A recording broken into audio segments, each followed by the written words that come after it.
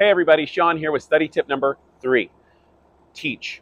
Teach the material. If there is a topic you're struggling with, lower level test takers, what I want you to do is get a mentor or two, preferably more than one, in a room, put a five to 10 minute presentation together about the thing you're struggling the most with, and teach them. Those higher level operators will drill you on the right questions and they will help you understand the material better.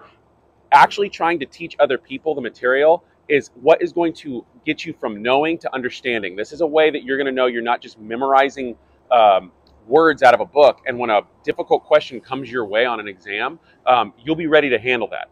Higher level test takers, what this looks like for you is doing an in service in your plant, and uh, you're going to have questions that are going to be from younger operators that are genuinely trying to know what you're talking about, and you're going to have to answer those questions. Um, it also looks like maybe signing up to give a training with a, a company um, to help people get CEUs. So uh, I know it's helped me a lot in my career, um, in my in my plant, um, and uh, preparing for exams.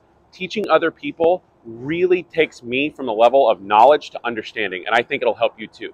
For more tips and tricks on how to study for wastewater treatment plant exams, uh, click the link below, like, and subscribe. Take it easy, everybody.